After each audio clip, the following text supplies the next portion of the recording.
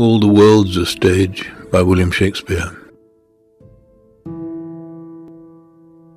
All the world's a stage, and all the men and women merely players.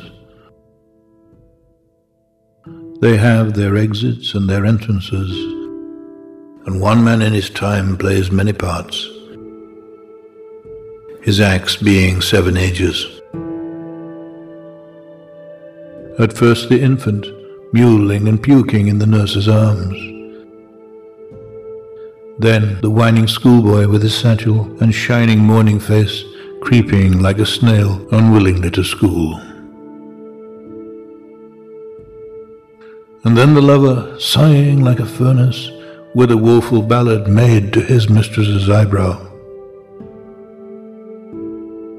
Then a soldier full of strange oaths, and bearded like the pard, jealous in honour, sudden and quick in quarrel, seeking the bubble reputation even in the cannon's mouth.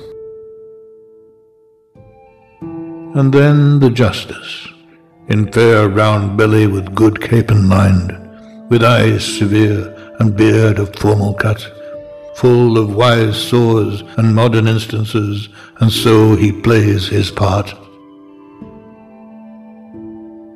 The sixth age shifts, into the lean and slippered pantaloon, with spectacles on nose and pouch on side, his youthful hose well saved, a world too wide for his shrunk shank, and his big manly voice turned again towards childish treble, pipes and whistles in his sound.